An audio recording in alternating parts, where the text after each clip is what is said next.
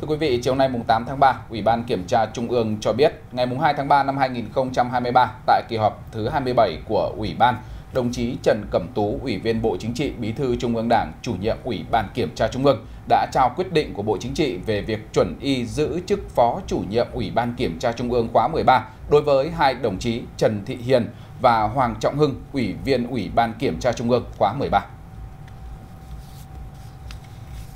Thưa quý vị, Ủy ban Kiểm tra Thành ủy Hải Phòng vừa đề nghị Ban Thường vụ Thành ủy, Ban chấp hành Đảng bộ thành phố khai trừ ra khỏi Đảng Thiếu tướng Đỗ Hữu Ca. Ông Ca 65 tuổi, nguyên giám đốc công an thành phố Hải Phòng, bị cơ quan an ninh điều tra công an tỉnh Quảng Ninh khởi tố tạm giam về tội lừa đảo chiếm đoạt tài sản vào ngày 22 tháng 2. Theo cơ quan công an, ông Ca đã nhận 35 tỷ đồng của Trương Xuân Đức với mục đích chạy án khi người này bị công an tỉnh Quảng Ninh điều tra. Thưa quý vị, ngày hôm nay tại Hà Nội, Liên đoàn Thương mại và Công nghiệp Việt Nam đã tổ chức hội thảo lấy ý kiến doanh nghiệp các hiệp hội chuyên gia về dự thảo luật đất đai sửa đổi. Phó Thủ tướng Trần Hồng Hà chủ trì trao đổi các vấn đề cần tập trung và ghi nhận các góp ý kiến đóng góp. Tham dự hội thảo có Phó Chủ tịch Quốc hội Nguyễn Đức Hải. Vấn đề được nhiều doanh nghiệp đặc biệt quan tâm đó là định giá đất. Theo quy định tại điểm C khoản 1, điều 153 của dự thảo, nguyên tắc phương pháp xác định giá đất phù hợp với giá đất phổ biến trên thị trường quyền sử dụng đất trong điều kiện bình thường. Và đây cái quy định giữa giá đất và giá đất cụ thể ai quyết định và quyết định phương pháp nào thì chúng ta không phân định rõ. Nếu luật mà không quy định, các doanh nghiệp và chuyên gia cũng băn khoăn việc có bản đồ giá đất là rất cần thiết. Tuy nhiên thời gian để xây dựng ít nhất là 3 năm. Vậy trong thời gian đó thì giá đất sẽ được xác định như thế nào? Mặt khác liên quan đến vấn đề thế nào là giá đất phổ biến, có ý kiến cho rằng cần quy định rõ giá đất chưa đầu tư hạ tầng để giảm bớt việc khiếu kiện về giá khi thu hồi đất. Thì vấn đề này là chúng ta đưa ra một cái việc là sẽ xác định được một cái giá mà chúng ta phải nhận, nó là giá trị à, thể hiện cái thị trường một cách ổn định. Một số ý kiến cho rằng nếu vấn đề định giá đất không được xử lý tốt thì sẽ để lại nhiều hệ lụy. Chính sách đất đai khi thực thi có nhiều vấn đề xoay quanh bảng giá đất. Hiện chưa có hệ thống dữ liệu về giao dịch đất đai, đây cũng là vấn đề sẽ gây ra vướng mắc trong quá trình thực thi.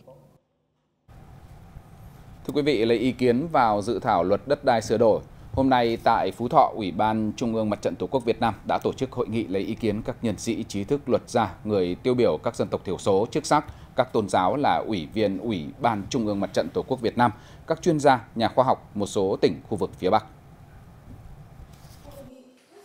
Các đại biểu tập trung thảo luận và đóng góp trên 10 ý kiến đối với một số nội dung cụ thể của dự thảo luật đất đai sửa đổi. Trong đó một số nội dung được nhiều đại biểu quan tâm cho ý kiến như quyền và trách nhiệm của nhà nước, công dân đối với đất đai, quyền và nghĩa vụ của người sử dụng đất, quy hoạch, kế hoạch sử dụng đất, các quy định về thu hồi, trưng dụng đất để bảo đảm công khai, minh bạch, giảm khiếu nại quy định tại chương 6 dự thảo luật, các quy định về bồi thường, hỗ trợ tái định cư nhà khi nhà nước thu hồi đất.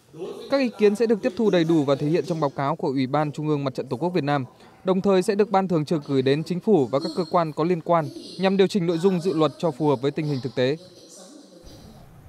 Theo kế hoạch, vào tháng 6 tới đây thì 7 quận huyện của thành phố Hà Nội, nơi có dự án đường vành đai 4 đi qua đều đồng loạt bàn giao 70% mặt bằng để dự án bắt đầu khởi công. Tuy nhiên, trong quá trình triển khai cũng phát sinh một số khó khăn nội tại mà các cấp chính quyền địa phương cũng đang quyết liệt tháo gỡ để bảo đảm tiến độ được đề ra.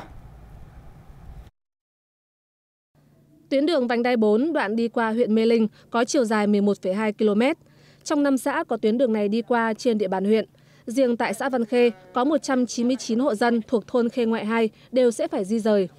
Cơ bản các hộ dân đều đồng thuận về mặt chủ trương, nhưng vẫn đang chờ đợi xem việc tái định cư được bố trí như thế nào. Mong muốn thì cái chỗ tái định cư thì sẽ ít nhất cũng sẽ tốt hơn, ngang bằng và tốt hơn. Bên cạnh những khó khăn trong việc bố trí tái định cư, thì trước đây trên địa bàn huyện Mê Linh có một số hộ dân tự chuyển đổi đất nông nghiệp cho nhau nhưng không có văn bản chứng minh, dẫn đến khó khăn trong việc xác định quy chủ và xảy ra tranh chấp nhận tiền bồi thường giải phóng mặt bằng. Huyện đã triển khai cái việc từ công tác quy hoạch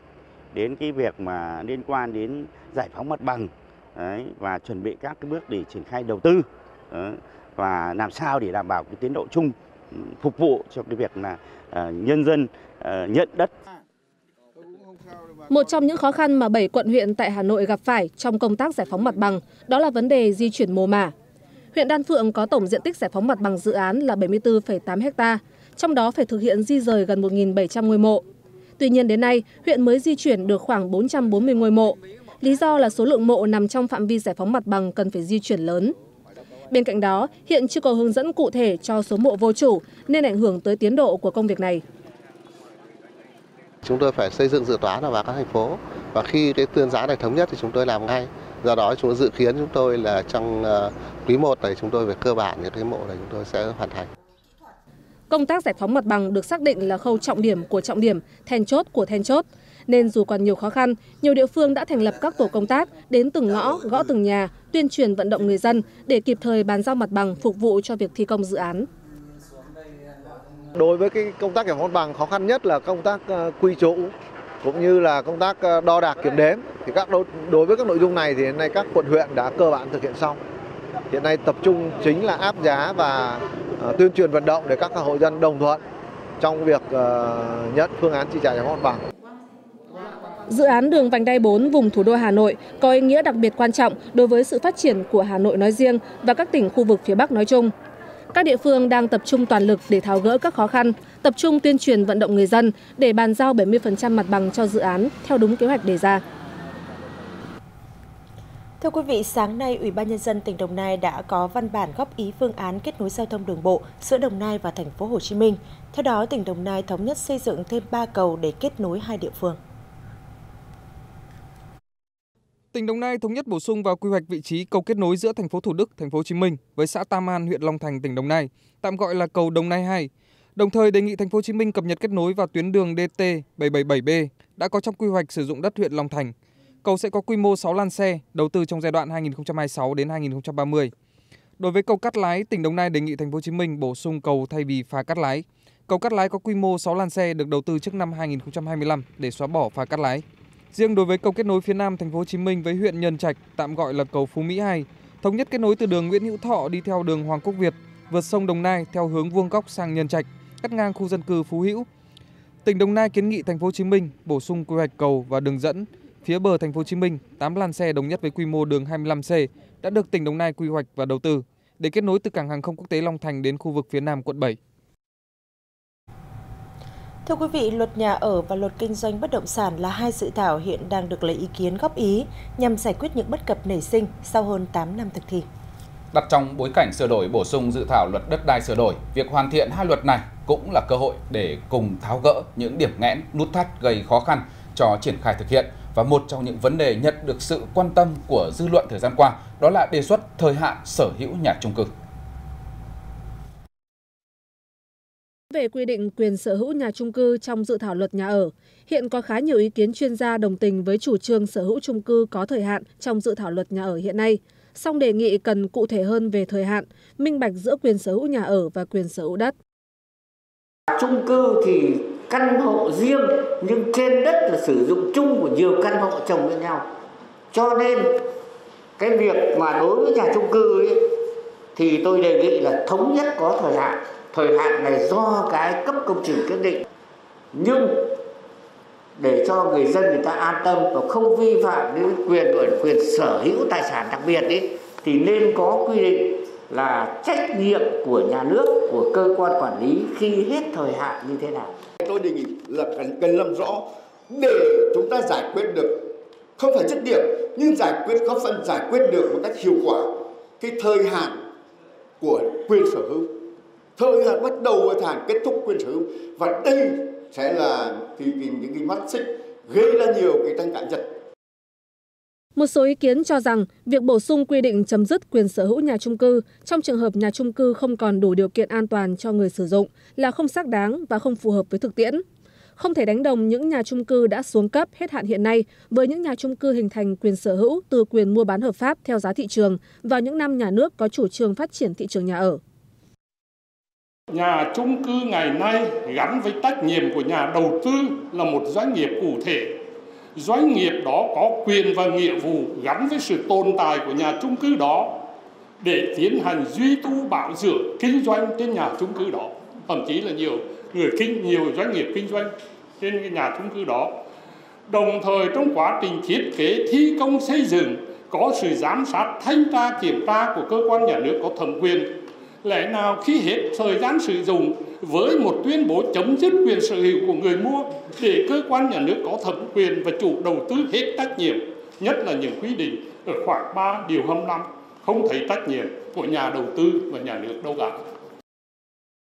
Thực tiễn cho thấy, vấn đề sở hữu nhà trung cư có thời hạn rất cần một cách tiếp cận thấu đáo, có lộ trình cụ thể, đầy đủ phương án cho chủ sở hữu khi hết thời hạn sử dụng, các luật và quy định rõ ràng. Khi đó thị trường nhà ở sẽ đa dạng hơn, mở ra nhiều cơ hội hơn cho khách hàng và các đơn vị phát triển bất động sản. Nếu không khi trung cư bị áp niên hạn tài sản thì nhiều người dân sẽ không biết đi về đâu.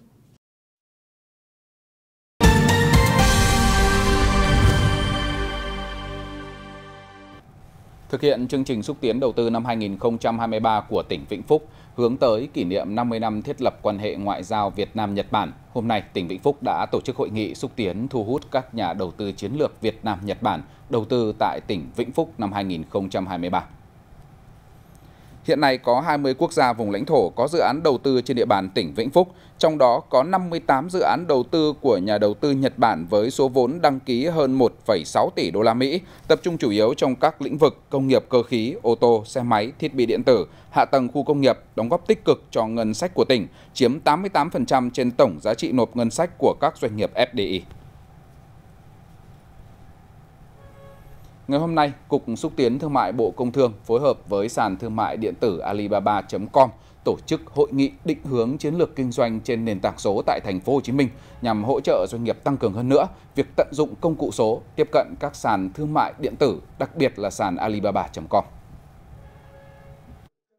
Theo Cục Xúc tiến Thương mại Bộ Công Thương, việc hỗ trợ doanh nghiệp đa dạng trên các kênh phát triển thị trường trong tình hình mới đang là ưu tiên hàng đầu – Thông qua hoạt động xúc tiến thương mại, doanh nghiệp xuất khẩu tiết kiệm nhiều chi phí, rút ngắn khoảng cách, thời gian, tăng tốc độ giao dịch và xử lý đơn hàng, tăng phạm vi, số lượng tiếp cận thị trường và khách hàng tiềm năng, qua đó đóng góp tích cực vào thành tích xuất khẩu ấn tượng của cả nước. Các chuyên gia nước ngoài cho rằng Việt Nam là lựa chọn ưu tiên của doanh nghiệp Mỹ và châu Âu. Sản phẩm của doanh nghiệp vừa và nhỏ Việt Nam luôn được đánh giá cao về nguồn gốc xuất xứ, chất lượng thành phẩm, kỹ năng xuất khẩu cũng như dịch vụ khách hàng, Hiện tại, Alibaba có 50% nhà xuất khẩu từ Việt Nam đang ở mức nhà xuất khẩu có hạng sao cao, thể hiện xu hướng đầu tư theo chiều sâu ngày càng nhiều hơn của các doanh nghiệp xuất khẩu Việt Nam vào thương mại điện tử. Nhiều doanh nghiệp tăng đầu tư vào ứng dụng công nghệ số, nâng cao năng lực xuất khẩu, kỹ năng bán hàng xuyên biên giới, nghiên cứu phát triển sản phẩm và xây dựng thương hiệu để tăng tốc trong giai đoạn khó khăn. Trên cơ sở Bộ Tiêu chí chương trình Mỗi xã một sản phẩm giai đoạn 2018-2020 đã bộc lộ một số tồn tại hạn chế nhất định. Trên cơ sở kế thừa thành quả Bộ Tiêu chí cũ, Bộ Nông nghiệp và Phát triển Nông thôn đã trình chính phủ ban hành Bộ Tiêu chí đánh giá và phân hạng sản phẩm ô cốp, điều chỉnh bổ sung nhằm phù hợp với mục tiêu phát triển chương trình ô cốp giai đoạn 2021-2025.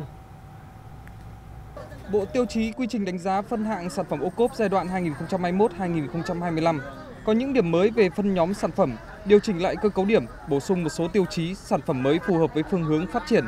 Đặc biệt, bộ tiêu chí mới bổ sung một số tiêu chí nhằm nâng cao chất lượng, giá trị và khai thác các giá trị văn hóa của sản phẩm ô cốp, khuyến khích sự tham gia của phụ nữ, đồng bào dân tộc thiểu số như sở hữu trí tuệ, tài liệu hướng dẫn sử dụng sản phẩm, điểm khuyến khích cho chủ thể là nữ, đồng bào dân tộc thiểu số nhằm phù hợp với định hướng chiến lược phát triển nông nghiệp, nông thôn bền vững đến năm 2030, tầm nhìn 2045. Ngày hôm nay tại Hà Nội, Bộ Nông nghiệp và Phát triển Nông thôn phối hợp với Ủy ban Nhân dân tỉnh Quảng Ninh tổ chức diễn đàn trực tuyến thúc đẩy thương mại nông sản, thủy sản và sản phẩm thủy sản giữa Việt Nam Trung Quốc.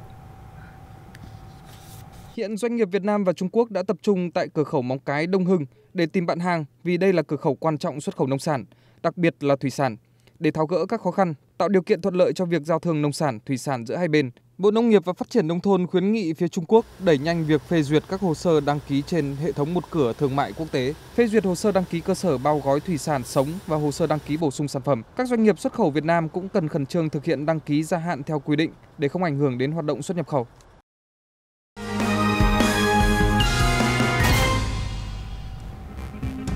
Tiếp theo chương trình, khát vọng từ những cô gái vàng của bóng đá Việt Nam.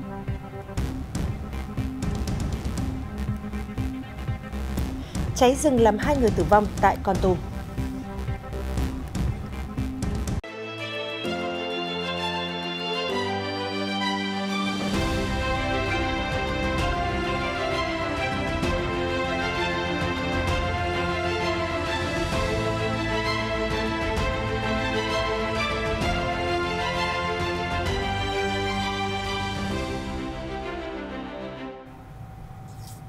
Quý vị, vào tháng 2 năm 2022, lần đầu tiên trong lịch sử, các cầu thủ nữ Việt Nam đã giành vé dự vòng chung, chung kết World Cup. Đằng sau kỳ tích ấy là những câu chuyện đầy cảm hứng về nghị lực phi thường, ý chí chinh phục đỉnh cao trong môn thể thao được yêu thích ở cấp độ thế giới này. Vâng, ngày 8 tháng 3, Ngày Quốc tế Phụ nữ, có lẽ không còn gì đẹp hơn khi chúng ta dành thời gian để nhìn lại chặng đường đầy trông gai nhưng cũng đầy hoa hồng của các cô gái vàng bóng đá Việt Nam để tôn vinh và tiếp sức cho họ trên hành trình sắp tới. Mời quý vị và các bạn cùng đến với câu chuyện về khát vọng từ những cô gái vàng của bóng đá Việt Nam cùng với biên tập viên Hoài Thu. Xin mời chị Hoài Thu. Vâng, cảm ơn à, Thanh Hương và Tiến Tú. Vâng, thưa quý vị, ngày 6 tháng 2 năm 2022, là một ngày không thể quên của đội tuyển bóng đá nữ và người hâm mộ nước nhà. Các cầu thủ và ban huấn luyện đội tuyển nữ Việt Nam đã trải qua áp lực vô cùng lớn, kể cả về thể chất lẫn tinh thần. Thế nhưng, vượt qua mọi khó khăn, toàn đội đã nỗ lực đến cùng để đạt được những thành tích đáng tự hào, mang vinh quang về cho thể thao nước nhà. Hơn 3 thập niên hình thành và phát triển, trải qua nhiều thế hệ cầu thủ với những khó khăn không thể kể được bằng lời, nhưng bóng đá nữ Việt Nam đã tạo nên kỳ tích, xứng đáng ghi danh vào bảng vàng lịch sử của thể thao Việt Nam. Thành tích thi đấu ấn tượng của tuyển nữ Việt Nam khiến làng túc cầu khâm phục. Trong cái cái hành trình mà chuẩn bị ờ, của đội nữ thì gặp ừ, khá là nhiều khó khăn. À, như mọi người cũng biết cái chuyến tập huấn ở Tây Ban Nha à, cả đội đã mắc covid. Gần như là cả đội. À, và vượt qua những cái khó khăn đó. À, toàn đội đã đã hồi phục. Và phải nói là chiến đấu à, rất là là dũng cảm. À, vì nằm trong một cái bảng người ta hay gọi là đó là cái bảng tử thần. À, một cái cánh cửa rất hẹp nhưng bằng cái sự nỗ lực bằng cái sự mà chiến đấu thì à, toàn đội đã đã vượt qua được cái cái khe cửa hẹp đó. Khi trọng tài người ta thổi dứt còi dứt điểm trận đấu thì lúc ấy uh, cảm giác của tôi sung sướng nó, nó như là vỡ hòa mà tôi chỉ nghĩ đến thắng trận thôi chứ chưa nghĩ đến vào World Cup. Thế xong mình nghĩ à tôi chết rồi thế là mình vào World Cup rồi. Cái lý trí của mình nó còn không biết gì đâu cái bắt đầu mình chỉ chạy ra mình ôm tất cả mọi người ôm nhau và cũng thấy hạnh phúc lắm. Và lúc đó mình ôm mà mình nghĩ là lúc đó là thoáng trong đầu như là cái khoảnh khắc mà ở Tây Ban Nha mà mình dính vậy á. Một cái hành trình nó quá nhiều cái trông gai như vậy. Ngay sau khi mà à, giành được cái vé đi World Cup tôi đã gọi điện sang để cảm ơn các cầu thủ cũng như là ban huấn luyện. Là những người người ta đã trải qua không chỉ về mặt uh, thể chất mà về mặt tinh thần. Đấy, và các thành viên đã nỗ lực một cách à, đến tận cùng để đạt được những cái thành tích uh, hết sức là đáng tự hào uh, của bóng đá Việt Nam. Lần đầu tiên tham dự vòng chung kết World Cup 2023 là phần thưởng xứng đáng, là kết quả của sự kiên trì, dũng cảm, kiên cường và tinh thần không bao giờ bỏ cuộc của những người con nước Việt. Hình ảnh lá cờ đỏ sao vàng tung bay trên đấu trường bóng đá lớn nhất thế giới mang lại niềm hạnh phúc, tự hào cho đội tuyển bóng đá nữ và toàn thể người dân Việt Nam. Dạ, vâng, thưa quý vị, tấm vé đến vòng chung kết World Cup không chỉ là giấc mơ có thật của bóng đá nữ Việt Nam – mà nó còn cho thấy ngọn lửa khát vọng cống hiến của các nữ tuyển thủ Việt Nam. Thành tích đó cũng chính là hiện thân của tinh thần bất khuất, không chịu khuất phục của phụ nữ Việt Nam. Qua đó nâng tầm vị thế của phụ nữ Việt Nam, con người Việt Nam trên trường quốc tế. Bởi những điều đặc biệt mà các cầu thủ nữ Việt Nam đạt được trong thời gian qua, theo một cách thức cũng rất đặc biệt, nên cúp vàng bóng đá nữ thế giới đã lựa chọn Việt Nam là một trong những điểm đến đầu tiên trên chuyến hành trình tới 32 quốc gia có đội tuyển tham dự vòng chung kết. Niềm vinh dự này đã tiếp thêm sức mạnh và ý chí cho các cầu thủ nữ trên hành trình chinh phục đỉnh cao tiếp theo của mình. Các cầu thủ bóng đá nữ cùng với toàn bộ ban huấn luyện đã ờ, được cùng chiêm ngưỡng và được ờ, chụp hình lưu niệm ở bên cạnh cái cúp vàng này. Đó là chính là chiến công của ban huấn luyện của toàn thể đội nữ và ừ, cũng trong cái hoàn cảnh khó khăn nhất thì các cầu thủ nữ thể hiện ý chí cuột cường. Ờ, đã vào đến đây ấy thì là chúng ta phải như nhau, coi coi các đội như nhau và chúng ta chỉ có một mực là phải thi đấu với một cái quyết tâm cao nhất Đấy, và bằng cái tinh thần của người phụ nữ Việt Nam chúng tôi ờ, đã từng nói rồi chúng ta có thể thua về sức thua về chiều cao thua về ờ, sức mạnh thể lực nhưng đặc biệt về tinh thần ý chí chiến đấu là chúng ta phải thi đấu hết sức mình. Điều đó đã đã làm cho cho tất cả mọi người, tất cả mọi người có một cái cảm xúc rất là là là mãnh liệt. À, và chỉ hy vọng là cái tinh thần đó uh, sẽ được các cầu thủ tiếp tục đem đến cái cái vòng chung kết này uh, để mà có những cái trận đấu uh, có kết quả tốt. Sau lễ rước cúp vàng bóng đá nữ thế giới, toàn đội tuyển sẽ bước vào kế hoạch tập huấn và du đấu để đạt điểm rơi phong độ tốt nhất vào tháng 7 tới. Dù còn nhiều thiếu thốn và vất vả, nhưng với sự hỗ trợ từ các cấp lãnh đạo cùng sự đồng lòng, quyết tâm của mọi thành viên ban huấn luyện, đội tuyển sẽ nỗ lực hết mình để đạt kết quả cao nhất. Vâng, thưa quý vị, có thể thấy bóng đá nữ vẫn đang và sẽ tiếp tục là nguồn cảm hứng, niềm tự hào lớn của người hâm mộ Việt Nam. Thành tích mà những bóng hồng của thể thao Việt Nam giành được cho thấy người Việt Nam hoàn toàn có thể làm được những việc lớn lao,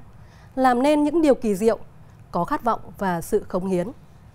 Điều đó không chỉ thể hiện ý chí của người phụ nữ Việt Nam mà còn là của cả dân tộc Việt Nam – Thay mặt cho những người làm chương trình nhân ngày mùng 8 tháng 3, chúng tôi cũng xin được gửi lời chúc tốt đẹp nhất tới các nữ tuyển thủ của bóng đá Việt Nam. Chúc cho hành trình sắp tới của đội tuyển sẽ gặt hái được nhiều thành công vang dội. Còn bây giờ, mời quý vị cùng trở lại với các tin tức thời sự đáng chú ý khác của 45 phút chiều.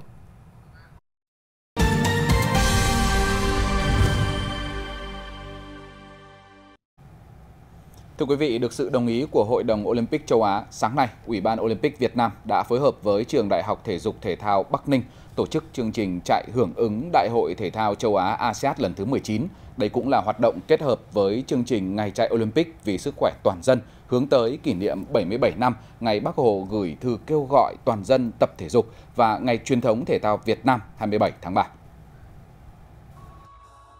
Chương trình chạy hưởng ứng ASEAN 19 là một hoạt động truyền thống của Đại hội Thể thao châu Á do Hội đồng Olympic châu Á kết hợp với thành phố đăng cai tổ chức, diễn ra ở rất nhiều nước, vùng lãnh thổ với mục tiêu cổ động quảng bá cho ngày hội thể thao lớn nhất châu lục. Tham dự chương trình chạy hưởng ứng ASEAN 19 tại trường Đại học Thể dục Thể thao Bắc Ninh có sự tham gia của 1.500 cán bộ, giáo viên, công nhân viên, sinh viên, vận động viên nhà trường. Việt Nam là điểm đến thứ 14 trong số 30 thành phố của châu Á vinh dự được tổ chức sự kiện này. Trường Đại học Thể dục Thể thao Bắc Ninh chúng tôi rất là vinh dự À, được à, tổ chức ngày chạy Phan Răn để hưởng ứng ASEAN 19 tại Hàng Châu, Trung Quốc. Đây là một hoạt động rất là có ý nghĩa vì sức khỏe toàn dân, tập luyện theo gương Bác Hồ vĩ đại. Và đây là cũng là một cái hoạt động để nhà trường thường xuyên hàng năm à, duy trì để giáo dục các thế hệ học sinh sinh viên trong trường. Ngày chạy hưởng ứng ASEAN 19 chính là điều kiện và cơ hội để khuyến khích mọi người gắn kết với nhau theo đúng thông điệp của khẩu hiệu chính thức của đại hội là trái tim đến với trái tim, kết nối tương lai và tôn vinh những giá trị của thể thao Olympic hiện đại. Vì một cuộc sống tốt đẹp hơn, vì một tương lai tốt đẹp hơn. Ngày hôm nay đã xảy ra một vụ cháy rừng nguyên liệu giấy của công ty trách nhiệm hữu hạn một thành viên nguyên liệu giấy miền Nam khiến hai người tử vong.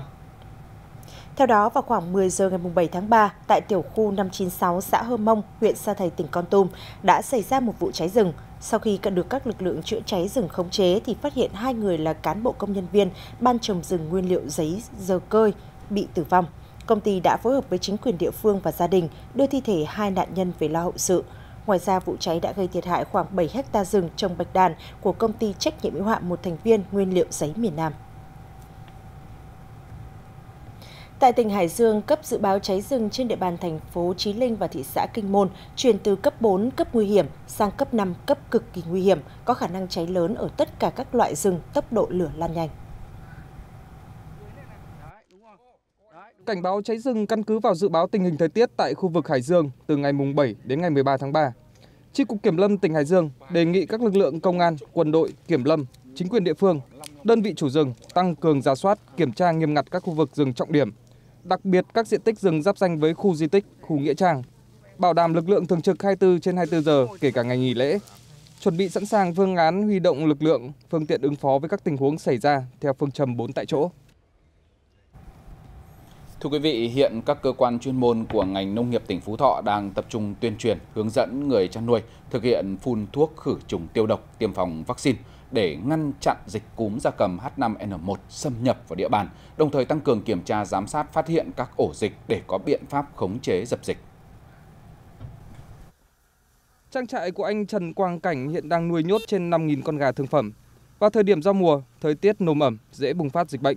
Gia đình anh đã chủ động thực hiện hướng dẫn của cơ quan thú y để phòng dịch. Cùng với đó, anh chủ động lắp thêm hệ thống quạt thông gió, bóng điện để sưởi ấm cho đàn gà giống mới tái đàn.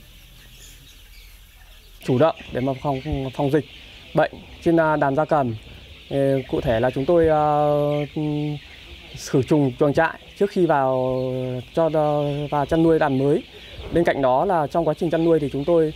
tiêm phòng các loại vaccine cúm gia cầm đầy đủ. Trong đó có hai chủng là H5 và H7 là chúng tôi đã tiêm phòng phòng cho đàn gia gia cầm. À, bên cạnh đó là thường xuyên phun khử trùng chuồng trại, quét vôi, rắc vôi để mà ờ, làm tốt công tác phòng chống dịch bệnh. Theo kết quả xét nghiệm của Tri Cục Thú y vùng 1 trong năm 2022, 4 xã trên địa bàn huyện Thanh Thủy, tỉnh Phú Thọ có lưu hành virus cúm gia cầm H5N1. Để khống chế mầm bệnh đang tồn tại trong môi trường, chính quyền địa phương tập trung giả soát, lập danh sách số lượng hộ chăn nuôi và tổ chức tiêm phòng vaccine cúm AH5N1 cho đàn gia cầm.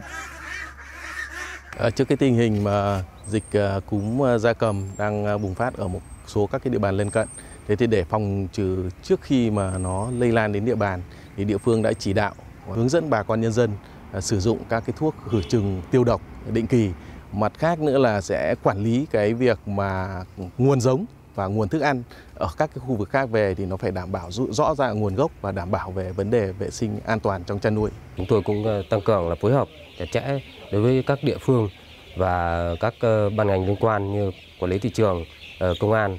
để giám sát cái việc là nhập con giống Ờ, vào địa bàn, đồng thời là phát hiện ờ, xử lý đối với các ờ, trường hợp vận chuyển gia cầm không rõ nguồn gốc xuất xứ để ngăn chặn cái việc là đưa nguồn bệnh vào địa bàn để phòng chống cái dịch bệnh cúm gia cầm. Hiện nay trên địa bàn tỉnh Phú Thọ chưa xuất hiện dịch cúm gia cầm H5N1, nhưng việc sớm triển khai các biện pháp phòng chống sẽ hạn chế được thiệt hại.